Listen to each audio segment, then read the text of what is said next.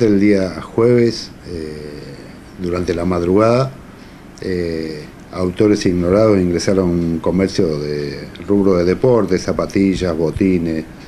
eh, que se encuentra en la avenida Villa Mayor, a media cuadra del banco, a media cuadra de esta plaza. Este, cuando llegaron a la mañana los propietarios constataron que autores ignorados habían violentado la puerta de acceso tipo blindex le hicieron saltar un, pestillo que tiene en la parte superior, en la parte de abajo le faltaba, y ingresaron, eso, ese local tiene cortinas en el frente, o sea que si hay una persona adentro y no la vieron cuando entraron, no, no se ve, y le sustrajeron varios pares de, calzado, entre zapatillas, botines deportivos, eh, sustrajeron algunas prendas de vestir, algunos vaqueros, y dinero que había en, la caja, que había quedado registrador. Eh, se empezó a trabajar sobre, sobre, ese, sobre ese hecho y se estableció que las personas que ingresaron tienen que haber eh, accedido al lugar cerca de las 4, 4 y moneda de la mañana, porque cuando han abierto la caja eh, salta un ticket que ese ticket marca las 4 y cuarto de la mañana. Este, los moradores, los propietarios en ese momento no, no estaban en ese horario en el local, o sea que tienen que haber sido los autores del hecho. Y, también estamos trabajando sobre un par de sospechosos que se estableció a posteriori que habrían andado caminando. Eh, sería una pareja con otro muchacho, una mujer y dos varones que anduvieron caminando de las dos y, pico, una de la mañana, andaban caminando en forma normal. Y después se lo vio en actitud sospechosa con unas bolsas ya cerca de las 5, entre las 5 y 6 de la mañana.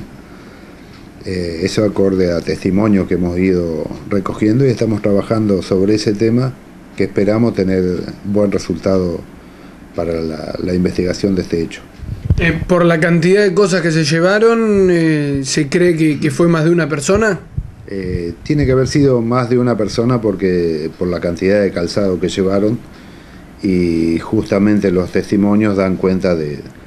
tres personas que circularían a la búsqueda de un remis o, preguntando un colectivo o un horario de tren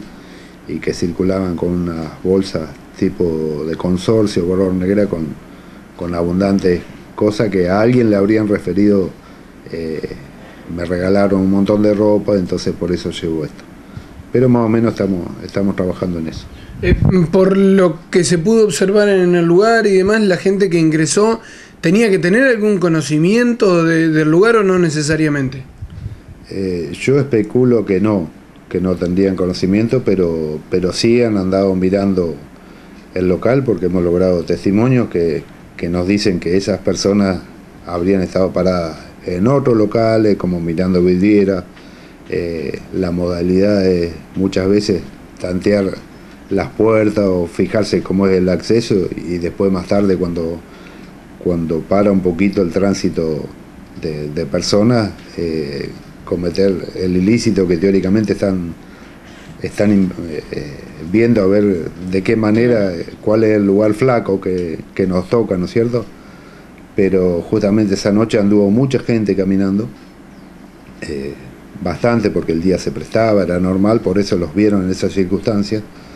pero ya cerca de las 4 o 5 de la mañana ya prácticamente el tránsito es nulo, o sea que las balizas de un patrullero se ven a lo lejos y un matrimonio caminando por lo que aparentaba,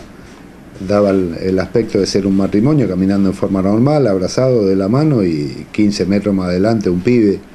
de 15, 16, algo que no te llama la atención. Después llama la atención, eh, lo que se estuvo recibiendo, eh, que sí, que no se los vio, que no son conocidos, no son de esta zona, pero estamos trabajando con algunos datos que tenemos. Eh, ¿Se pudo saber o, especificar eh, eh, qué cantidad de cosas se robaron y, dinero? tenemos establecido, son cerca de 7 mil pesos que había en efectivo y la cantidad es una cantidad considerable, tomando en cuenta zapatillas, zapatos y, y distintas cosas, estamos hablando más de 100 pares de calzado.